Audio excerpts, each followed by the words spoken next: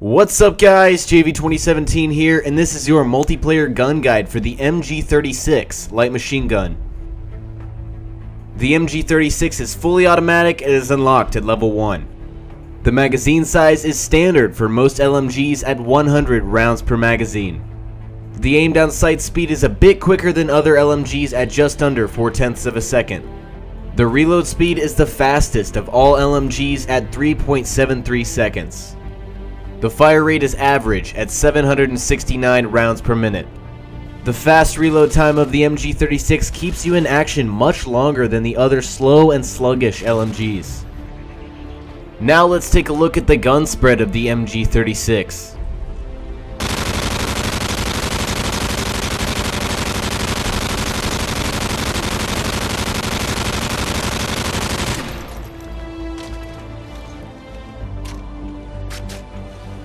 As you can tell, this gun has a ridiculous amount of recoil to the right and barely even shoots where you're pointing the gun. There are six different proficiencies to choose from for this light machine gun. Kick, impact, attachments, focus, and stability are standard for most weapons. Speed is the only unique proficiency and it increases your running speed very slightly.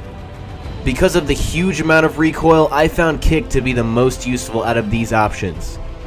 Although the recoil can really be a pain, this gun shines in rooms with multiple enemy targets. At close range, it takes 3 bullets to kill an enemy.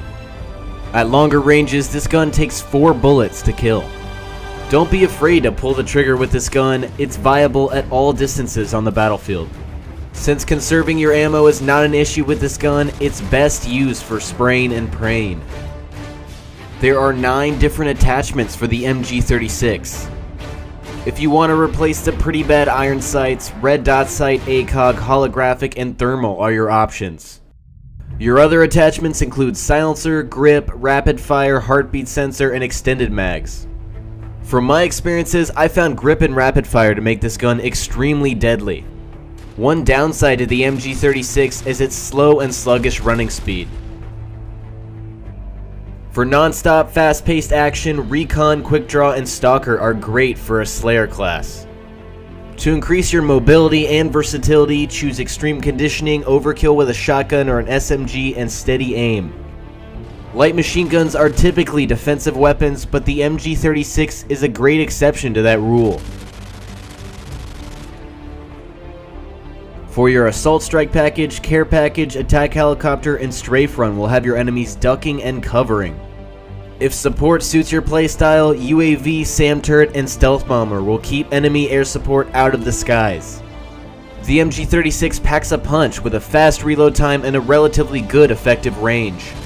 However, the downfall of this weapon is its extreme amount of recoil and it can really affect your accuracy at long range.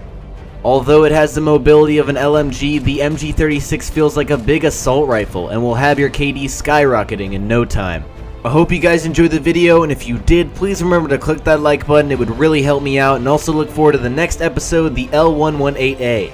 Also, for more of these guides, tips, tricks, anything Modern Warfare 3, head over to my channel at youtube.com slash jv2017gameplay. Talk to you guys later. Peace.